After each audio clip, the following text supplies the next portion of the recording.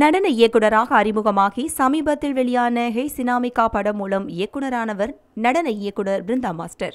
மேலும் இவரின் அடுத்த படைப்பு தூத்துக்குடியை களமாக கொண்டு படத்தை இயக்கி வருகிறார் அந்த திரைப்படத்திற்கு தக்ஸ் என பெயரிட்டுள்ளார் மேலும் பிரியேஷ் ஒளிப்பதிவு செய்யும் இந்த படத்திற்கு சாம் எஸ் இசையமைக்கிறார் தமிழுடன் தெலுங்கு ஹிந்தி கன்னடம் ஆகிய மொழிகளிலும் வெளியாகவிருக்கும் இந்த திரைப்படத்தை ஹெச்ஆர் பிக்சர்ஸ் என்ற பட நிறுவனத்தின் சார்பில் தயாரிப்பாளர் ரியா ஷிபு தயாரிக்கிறார்